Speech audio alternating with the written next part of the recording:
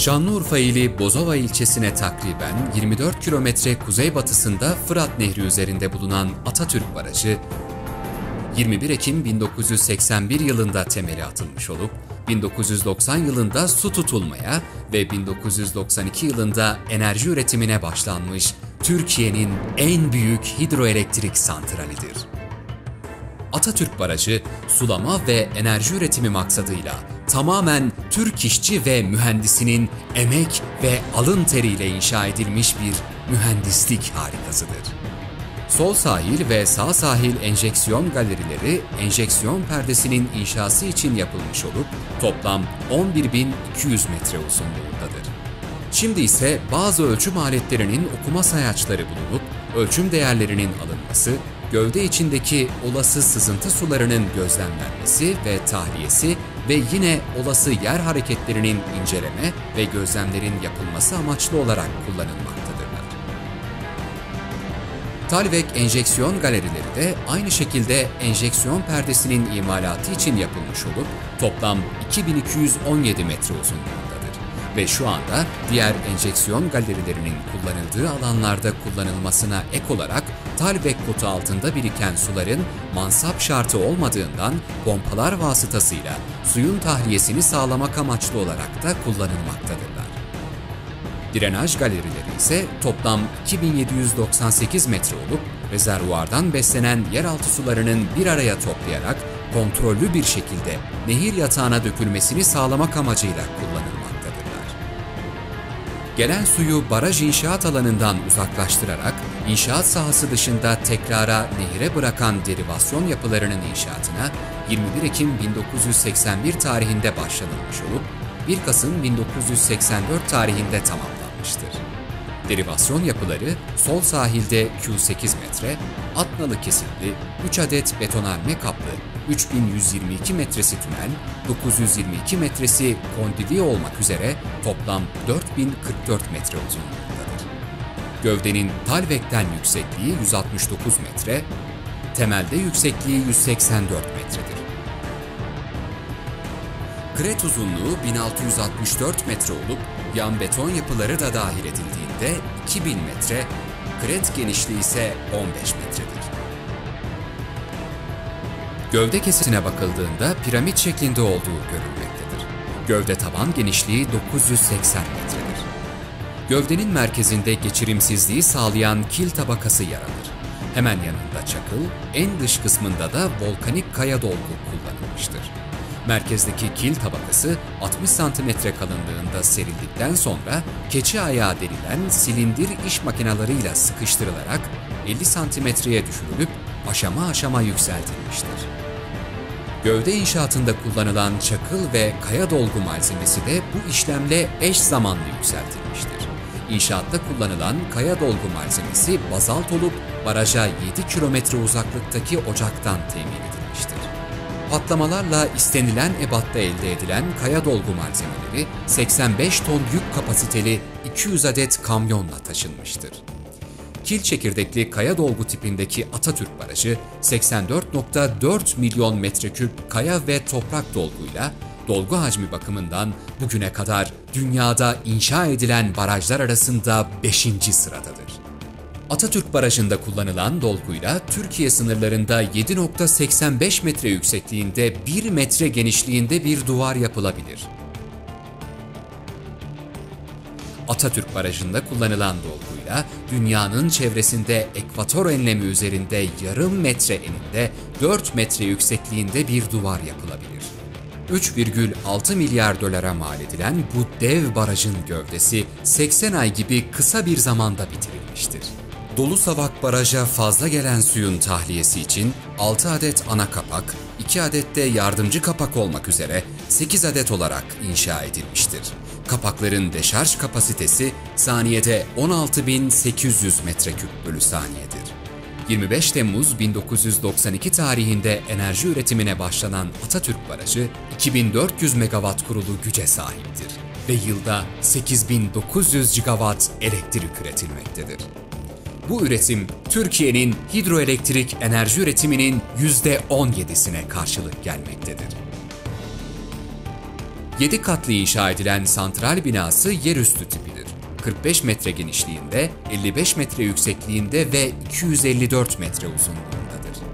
Santral ünitelerindeki türbinler salyangoz biçiminde düşey ekseni orta hızlı İsviçre yapımı Francis tipindedir. Santral binasında her bir grupta gücü 300 megawatt olan 8 adet türbin jeneratör bulunmaktadır. 25 Temmuz 1992'de bu 8 üniteden ikisi hizmete açılmıştır. Bir türbinin toplam ağırlığı 1150 tondur. Türbinlerin hareketli rot ağırlığı 694 tondur ve suyun düşüş hızı etkisiyle 1 dakikada 150 tur atmaktadır. Türbinlere su taşıyan cebri borular 8 adet olup çapları ortalama 7 metre, et kalınlığı 4 santimetre, uzunluğu 5 kilometre ve toplam ağırlığı ise 26 bin. Her birisinin içinden saniyede 220 ton su geçmektedir. Yıllık ortalama su akışı 26.654 milyar metreküptür. Santralin tam kapasiteyle 5 günlük çalışmasında harcadığı su, İstanbul'un bir yıllık su ihtiyacı kadardır. Ana kumanda odası inşa edildiğinde manuel olup sonraki yıllarda dijital sisteme çevrilmiştir. Barajın hidroelektrik santrali, dünyada halen yapımı sürenler arasında üçüncü, inşa edilmiş olanlar arasında da beşinci en büyük santraldir. Atatürk Barajı şalt sahası Adıyaman-Şanlıurfa Karayolu üzerinde olup baraja 3 kilometre uzaklıkta ve 105 bin metrekare alan üzerinde. Santralde üretilen enerji, çift devre 4 adet toplam 52 kilometre uzunluğunda enerji nakil hatları üzerinde 380 bin volt olarak şalt sahasına ulaşır. Burada ayrıştırıldıktan sonra 5 adet enerji nakil hattıyla Türkiye'nin 11 noktasına gönderilir. Atatürk Barajı'nın toplam maliyeti 3.6 milyar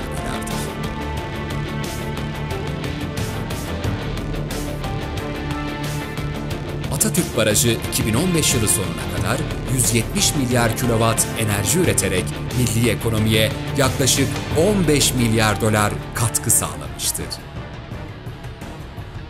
Yani Atatürk Barajı 5 yılda kendisini amorti etmiştir. Atatürk Barajı'nda 1990 tarihinde su tutmaya başlamıştır. Toplam su depolama hacmi 48.7 milyar metreküp olan barajın göl alanı 817 kilometre karedir ve Türkiye'nin üçüncü büyük gölüdür.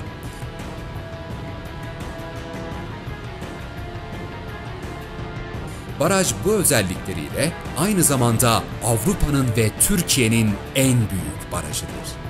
Barajda biriktirilen suyu toprakla buluşturmak üzere dünyanın en uzun tüneli olan Şanlıurfa tünelleri inşa edilmiştir. Şanlıurfa Tüneli'nin uzunluğu 26.4 kilometre, çapı 7,62 santimetre, paralel iki tünel debisi 328 metreküp olan yapı, kanal şebeke inşaatı bittiğinde Şanlıurfa, Harran, Mardin, Ceylanpınar ve Siverek, Hilvan ovalarıyla beraber 1.43 milyon dönüm arazi sulanır hale gelecek ve 1 milyon 800 bin kişiye istihdam olanağı sağlayacaktır. Barajın hidroelektrik santral hariç diğer tüm kısımları DSİ tarafından HESSE Elektrik Üretim Anonim Şirketi tarafından işletilmektedir. DSİ, barajın emniyeti açısından her ay yaklaşık 800 noktada ölçümler yapmaktadır. Ayrıca yılda bir defa olmak üzere detaylı deformasyon ölçümleri yapılmakta ve yapılan tüm bu ölçümlerle barajın emniyetli işletilmesi sağlanmaktadır. 2016 yılı içinde tüm ölçüm aletlerinin modernizasyonu yapılarak barajın internet üzerinden online olarak güncel temel bilgileri ve yetkili kişilerce ölçüm değerleri takip edilecektir. Atatürk Baraj Gölü ekosistemi, su canlılarının yaşam alanı olarak doğal göllerdeki gibi gelişebilecekleri yapay bir göldür. Bu nedenle göl rezervuarındaki balık popülasyonlarını desteklemek amacıyla 1996 yılından bu yana DSİ GAP 15. Bölge Müdürlüğü bünyesinde hizmet veren, su ürünleri baş mühendisliğinde üretilen yaklaşık 94 milyon yavru pullu sazan balığı Güneydoğu Anadolu bölgesindeki rezervuarlara bırakılmıştır. Pullu sazanın yanı sıra Fırat Nehri'nin endemik ve ekonomik değeri yüksek balığı olan şabut balığının da her yıl yarı kontrollü olarak üretimine devam edilmektedir.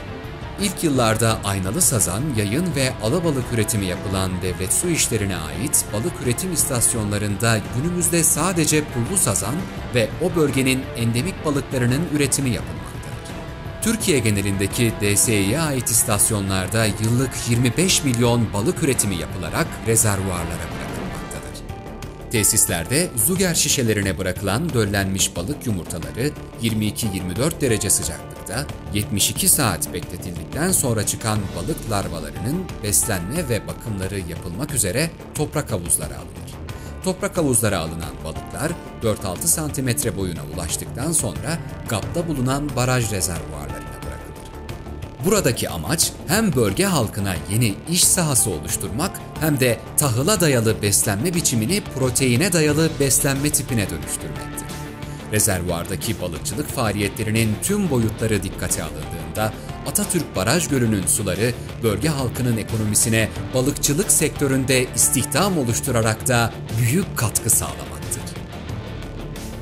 Atatürk Barajı Göl Rezervuarı'nda yapılan su sporları aktivitelerinde bölgedeki genç insanların çağdaş spor dallarıyla tanışması sağlanmış, aynı zamanda olimpik ruhun gelişmesine katkıda bulunmuştur. Ayrıca rezervuarda ulaşım amacıyla feribot işletmeciliği de yapılmaktadır.